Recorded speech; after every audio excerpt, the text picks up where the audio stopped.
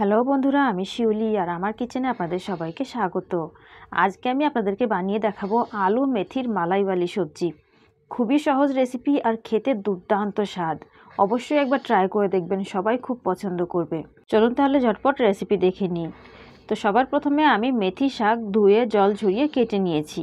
একেবারে খুব বেশি ছোট ছোট করিনি, চাইলে করতে পারেন, কিন্তু খুব বেশি ছোট না করাই ভালো। আর এখানে দেখুন আমি দুটো আলু নিয়েছি আর এরকম ছোট ছোট করে কেটে নিয়েছি, কেটে ধুয়ে নিয়েছি। আর এদিকে দেখুন আমি দুটো টমেটো পিউরি বানিয়ে নিয়েছি। চাইলে কেটেও নেওয়া যায়, কোনো অসুবিধা নেই। আর এদিকে দেখুন আমি নিয়েছি আদা রসুন কোটা। চাইলে আদা রসুনের পেস্টও ব্যবহার করতে পারেন, কোনো অসুবিধা নেই। আর এটা আমি নিয়েছি মোটামুটি দেড় টেবিল চামচের মতো হবে, আদা রসুন কুটে নিয়েছি। আর দুটো বড় বড় সাইজের পেঁয়াজ নিয়েছি, একদম ছোট ছোট করে কেটে নিয়েছি। আর এদিকে দেখুন, নিয়েছি আমি একটুখানি মালাই, দু চামচের মতো মালাই নিয়েছি। এটা গরুর দুধের মালাই, চাইলে আপনি বাজারের ক্রিমও নিতে পারেন।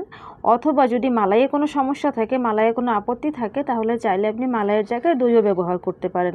অথবা মালাই বা দই সম্পূর্ণ স্কিপ করতে পারেন, কোনো অসুবিধা নেই। তো এইটুকু জিনিস আমাদের অ্যারেঞ্জ করতে হবে, আর বাকি সমস্ত জিনিসগুলো কিচেনে অ্যাভেলেবেল থাকে, সেগুলো আমি পরে দেখাচ্ছি, চলুন। তো সবার আগে আমরা কড়াইয়ে একটু তেল দিয়ে দেব, আর তেলে আমরা আলু ভেজে নেব। হিটটা আমি চালু করেছি মিডিয়ামে করে। খুব বেশি তেল দেওয়ার দরকার নেই, তেলটা একটু ছড়িয়ে দিচ্ছি। আর এবার আমি দিয়ে দিচ্ছি আলুগুলো। আলুটাকে আপনি লবণ হলুদ দিয়েও ভাজতে পারেন বা শুধু লবণ দিয়েও ভাজতে পারেন। আমি লবণ হলুদ কোনোটাই দিইনি, এরকমই ভেজে নিচ্ছি। একটু লাল লাল করে ভেজে নেব যাতে অর্ধেকটা অন্তত রান্না হয়ে যায় মানে অর্ধেকটা গলে যায়। তারপরে আমরা তুলে নেব। তো দেখুন বন্ধুরা, অনেকটা ভাজা ভাজা হয়ে গেছে, অর্ধেকটা গলে গেছে মানে অর্ধেকটা মানে ফিফটি পারসেন্ট কুক হয়ে গেছে। এবার আমি তুলে নিলাম। এবার এই কড়াইয়ে আমি দিয়ে দেব তেল গ্রেভির জন্য। তেল বেশি কম দিতে পারেন, কোনো অসুবিধা নেই। দু চামচ তেল দিয়ে আমি ভালো করে গরম করে নেব। তারপরে আমি দেব জিরে আর সর্ষে। Half teaspoon half teaspoon করে দিচ্ছি আমি জিরে, সর্ষে। দুটো তেজপাতা দিয়ে দেব। তিন চারটে শুকনো লাল লঙ্কা দিয়ে দেবো। আর একটুখানি হিংও দিয়ে দেব। হিং দিলে খুব সুন্দর একটা সুগন্ধ আসে আর হজমেও অনেকটা সাহায্য হয়। তো সমস্ত জিনিসগুলো আমি ভালো করে ভেজে নেব। কালারটা যখন ব্রাউন হয়ে যাবে তখন আমি এর মধ্যে পেঁয়াজ দিয়ে দেব। এখন আমি পেঁয়াজগুলো দিয়ে দিচ্ছি আর পেঁয়াজের কালারটাও হালকা ব্রাউন করে ভেজে নেব আর তারপরে দেব আদা রসুন কোটা। চাইলে পেস্টও দেওয়া যায়, কোনো অসুবিধা নেই। আমি এখন দিয়ে দিচ্ছি কুটে রাখা আদা রসুন।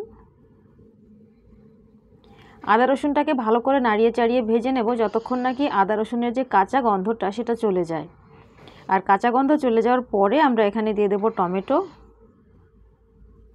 আমি টমেটো বেটে নিয়েছি, চাইলে কেটেও নেওয়া যায়, কোনো অসুবিধা হয় না। টমেটো বাটিটা ধুয়ে একটুখানি জলও দিয়ে দেব, একটুখানি লেগেছিল তাই। আর এবার টমেটো অ্যাড করার পরে আমাদের লবণ মশলাও অ্যাড করতে হবে। একটু নাড়িয়ে নিচ্ছি, আর তারপরে আমি দিয়ে দেবো প্রথমে হলুদ গুঁড়ো ওয়ান ফোর টি স্পুন আর ধনে গুঁড়ো দিয়ে দেবো এক স্পুন স্বাদ মতো লাল লঙ্কা গুঁড়ো।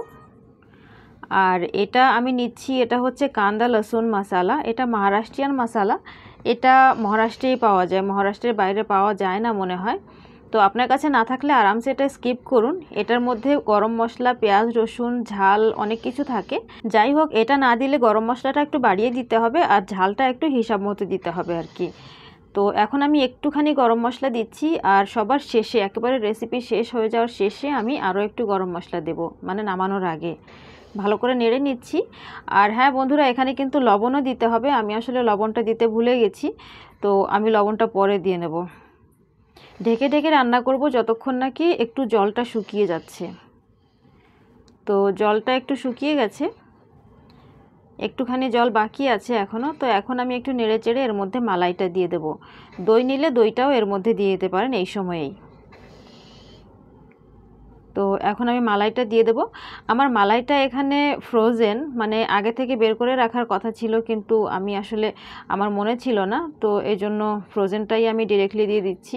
সম্ভব হলে আগের থেকে বের করে রাখতে হবে, আর তারপরেই দিতে হবে, তাহলেই সব থেকে ভালো হয় আর কি। মালাই দিয়ে ভালো করে নেড়ে চেড়ে আমি ঢেকে দেবো কিছুক্ষণের জন্য।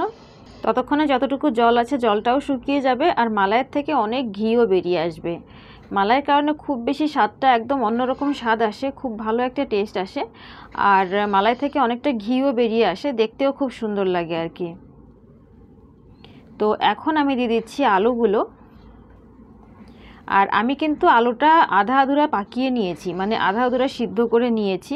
বাকিটা সিদ্ধ করতে এখন আর বেশি সময় লাগবে না, তার জন্য আমি আলুর সাথে সাথে মেথিটাও দিয়ে দিচ্ছি। আপনি যদি আলুটাকে বেশি সিদ্ধ করে না থাকেন, তাহলে অবশ্যই আলু দেওয়ার পরে একটু জল দিয়ে আলুটাকে একটু সিদ্ধ করে নিন, তারপরে মেথিটা দিন। একসাথে দিতে যাবেন না। আমার এখানে আলুটা যথেষ্ট সিদ্ধ হয়ে গেছে, তাই আমি একসাথে দিয়ে দিচ্ছি আর নেড়ে চেড়ে এখন আমি অল্প অল্প করে জল দিয়ে দেব। যতটা আমার মনে হবে যে আমার যতটা গাঢ় গ্রেভি দরকার, সেই হিসাবে আমি জল দিয়ে নেব। তো আপনিও তেমনটাই করুন। যতটা গাঢ় বা যতটা পাতলা চান, সেই হিসাবে জল দিয়ে নিন। এখন আমার মোটামুটি সাত আট মিনিট বা ম্যাক্সিমাম হলে দশ মিনিটের জন্য রান্না করতে হবে। সেই হিসাব করেই আমাদের জলটা দিতে হবে। তো আমি আরও একটু জল দিয়ে দেব। আর তারপরে ঢেকে ঢেকে রান্না করব। আমি এমনিতে ঢেকে ঢেকেই সবজি রান্না করি। ঢেকে ঢেকে রান্না করতেই আমার ভালো লাগে। মিডিয়াম হিট করে আমি ঢেকে ঢেকে রান্না করছি আর মাঝখানে আমার মনে পড়েছে লবণ দিইনি, তাই আমি এখন ঢাকনাটা সরিয়ে লবণটা দিয়ে দিলাম। আর এখন আমি আবার ঢাকনা লাগিয়ে দেব আর ঢাকনা লাগিয়ে রান্না করব যতক্ষণ নাকি আলুটা গলে যাচ্ছে। তো মোটামুটি আট মিনিটের মতো হয়েছে আর আলুটা এখন খুব ভালো করে গলে গেছে। এখন আমি তেজপাতাটা তুলে ফেলে দিচ্ছি। নাড়তে চাড়তে খুব অসুবিধা হচ্ছিল। আর তেজপাতার যে সুগন্ধ, যে স্বাদটা সবজির মধ্যে আসার ছিল সেটা কিন্তু চলে এসছে। এখন এটার কোনো দরকার নেই। এখন আমি তেজপাতা দুটো তুলে ফেলে দিলাম।